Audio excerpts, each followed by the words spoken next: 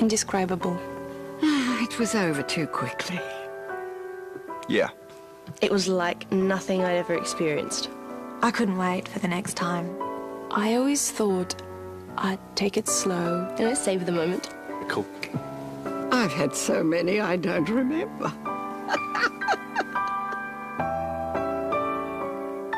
Luckily, there was plenty more where that came from.